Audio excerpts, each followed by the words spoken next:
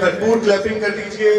और आपकी जितनी ज़्यादा क्लैपिंग होगी, उतनी ज़्यादा महसूस होगा कि आप दिल से उन्हें खुश आमदी कह रहे हैं। असलम वालेकुम रहमतुल्लाह मैं दिल की अता गहराइयों से यहाँ पर सब आने वाले दोस्त, अहबाब, मेरी बहनें, भाई, सबका शुक्रिया अदा करता हूँ। मेरा ख्याल है मैं अगर अपनी याददाश्त पे ज़ोर डालूँ तो देपालपुर में मेरा तीसरा विज़िट है आज तक में। सबसे पहले मैं कभी आया था तो दुल्ला साहब के स्कूल में आया था, कुछ साल पहले। उसके बाद हमारी कंपेन थी बदल दो मैं हर ज़िले में तीन दिन गुजारता था।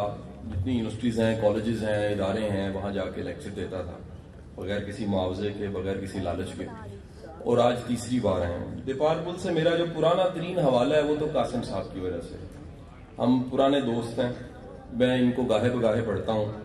इनसे कभी मशवरा भी ले लेता हूँ, इनसे पूछ भी लेता हूँ और मैं बड़ा खुश होता हूँ कि इतना काबिल एक जर्नलिस्ट देपालपुर में मौजूद है और मेरा हम नाम भी है।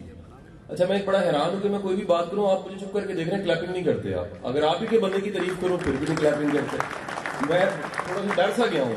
ये कि किस इलाके में मैं आ गया हूँ कि उनके इलाके के बंदे की तारीफ़ करूँ तो फिर भी वो क्लैप नहीं करते।